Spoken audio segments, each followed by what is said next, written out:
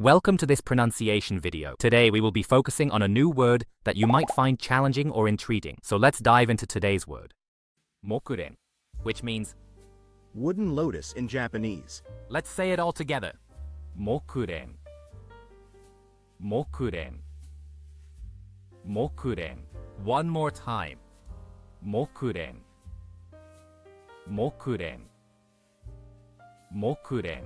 Thank you for joining us on this adventure in pronunciation. Remember, language is a journey, not a destination. Keep exploring, experimenting, and expanding your linguistic horizons. We'll see you next time.